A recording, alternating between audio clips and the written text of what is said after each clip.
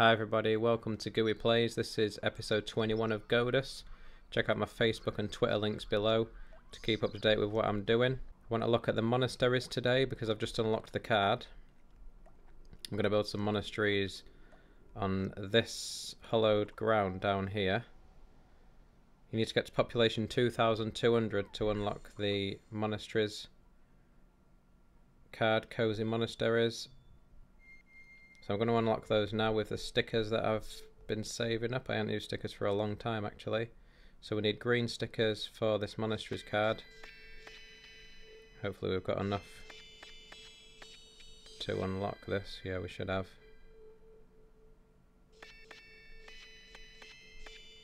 That's the monasteries card.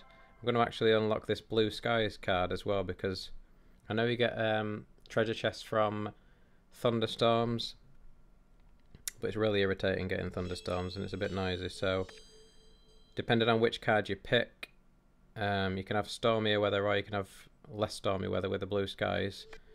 If you unlock one and then unlock the other, apparently it deletes the previous one. So if I unlock the blue skies, then the stormy weather, I'm just going to get stormy weather. You can't use both. So choose which one you want wisely. Got 40, had about 40 odd purple stickers there. So We've unlocked that as well. Cozy monasteries, blue skies. Awesome.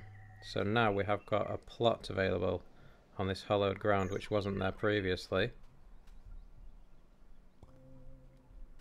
The advantage of monasteries is apparently they generate loads of belief. Not that we're in short supply of belief at the moment. We don't want any farmers, we want builders. Let's find a build building with lots of builders in it. There's one very close. Let's leash all these builders from Portham. Nick a couple from Leoberry. And we'll send them down to our hollowed ground with these lovely steps that we built in the beautiful steps episode. I'll leave a link to the in the description to that video if you want to check it out. So we're back in a moment once these guys have started constructing. So we've got the guys on the way now. A couple of them are confused on the edge, think they're going to commit suicide like lemons. But using the steps that we built them, those three dudes at the top there have decided they're going to join the party, I think.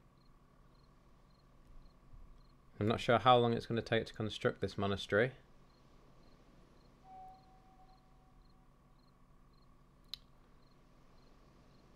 Believe it's uh, the same amount of wheat though as usual for a plot this size which is in very short supply but I'm going to hopefully deal with that soon and bring you a video on how to get more wheat.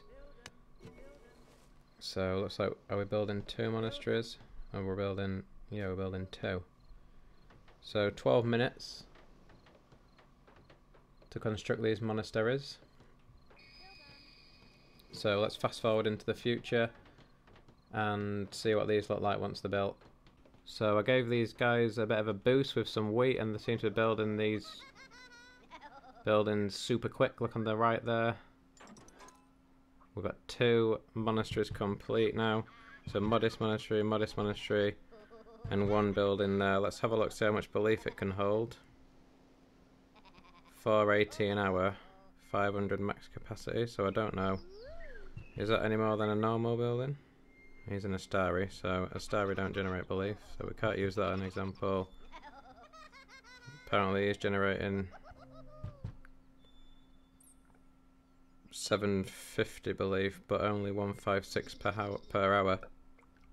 So he's generating belief quicker than normal abodes, but I guess you're going to have to check back in the game every few hours to actually benefit from that.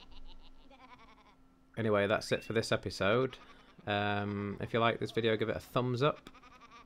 Please subscribe to my channel for more Godus videos and check out my channel for more Godus videos as well. See you in episode 21. No, 22. Goodbye.